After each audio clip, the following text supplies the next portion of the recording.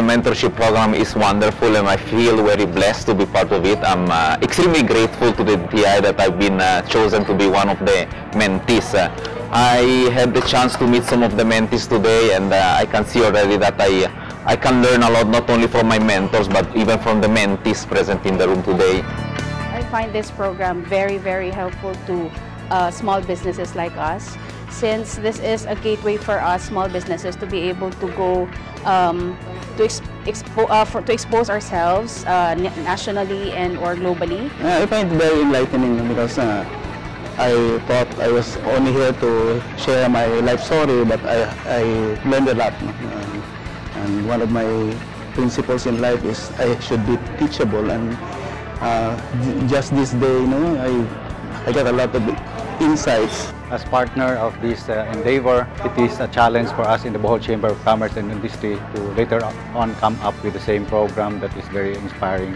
to the mentees.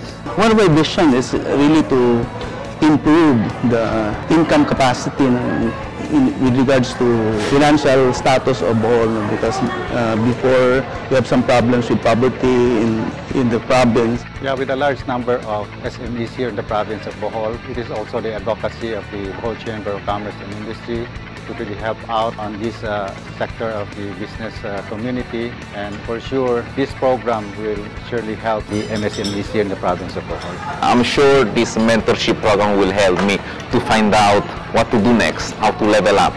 With the mentorship, I would be able to develop my business. Uh, the growth would be, uh, I would know which direction to go. To DTI and Go Negosyo, we would like to thank uh, both departments for bringing men- uh, Mentor Me program to Bohol since this is um, uh, it is such a blessing for us, the mentees, to be able to get your free assistance and guidance with regards to the growth and the direction of where our businesses go.